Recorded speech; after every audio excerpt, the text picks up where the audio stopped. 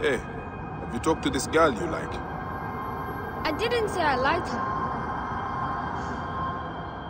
We were friends, but she's being strange and avoiding me. Maybe because she likes you too. We often do not say what we mean. It will come to you in bursts. Why would she avoid me if she likes me? This is something your mother should explain. I am better with the stars.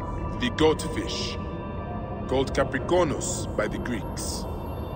The god has the head of a ram and the body of a fish. You see? Even the gods do not always make sense.